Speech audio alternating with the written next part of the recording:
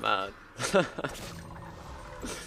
I am insanely proud right now, dude. I am... Oh my lord, dude.